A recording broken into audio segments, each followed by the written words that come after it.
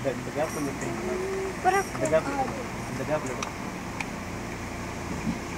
crocodile come காலை பின்னால் எப்படி இது பண்ணிடுச்சுன்னு வயிற்றுல தான் மிதக்குது இப்படி இருக்கு. வயிற்று கழுத்துல தான். கால் பின்னால் போயிடுச்சு உங்களுக்கு எப்படி தெ- சொல்றீங்க?